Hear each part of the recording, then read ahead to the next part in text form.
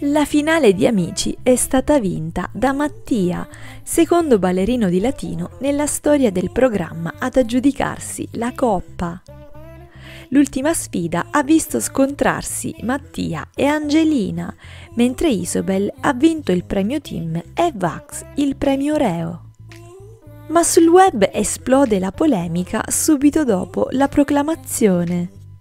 Mattia, come sappiamo, era stato costretto ad abbandonare Amici lo scorso anno a causa di un infortunio, ma gli è stato concesso il banco anche quest'anno.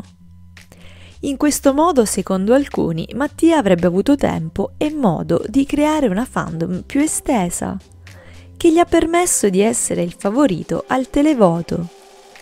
Secondo il pubblico di amici, Mattia non avrebbe meritato la vittoria tanto quanto Isobel.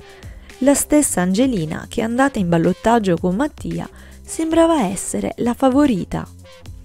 Ma il ballerino potrebbe aver vinto anche grazie al nuovo meccanismo di voto.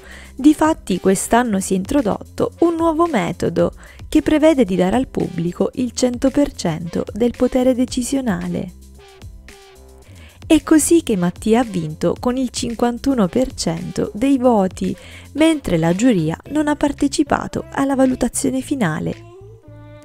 Anche Raimondo Todaro ha preso parte alla polemica pubblicando un post sibillino pochi minuti prima della proclamazione del vincitore.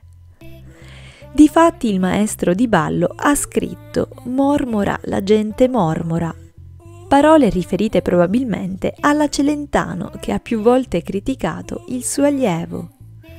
E tu cosa ne pensi?